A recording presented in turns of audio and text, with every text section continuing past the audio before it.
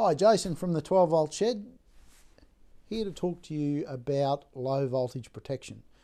One of the things with most batteries on the market, with your, your lead acid types at least, uh, I won't speak for the, for the lithiums of this world because they've got inbuilt protection, but your traditional lead acid battery really doesn't like to be run down too low.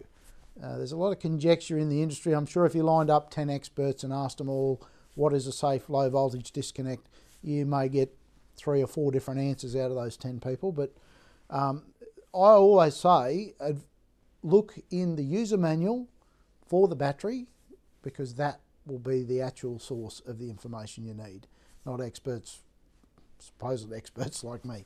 Always, always download the user manual with your battery and have a look at that that that point that they say is is a safe low low point. So a battery has an a, an actual capacity and a rated capacity. So if I've got a 100 amp battery, for example, it's typically at C20 or, or a timed rate. So that tells me that if I divide the time into the amperage, so a 100 amp battery at C20 give me 5 amps, that tells me that that battery's been designed to discharge 5 amps for 20 hours until it's the international standard for dead was 10.5.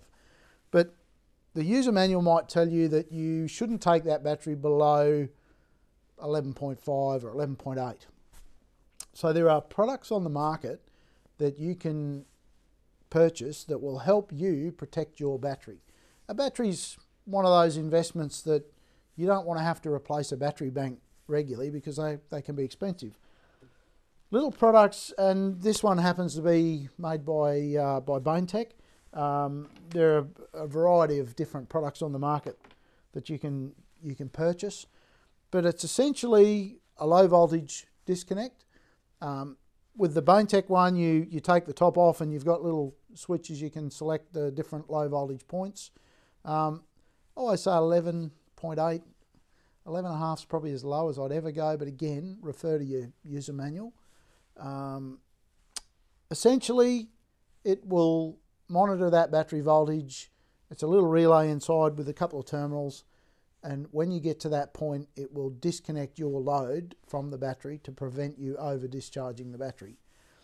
Probably one of the most common areas that I find in recreational applications where these are desperately needed and very rarely installed is on three-way fridges.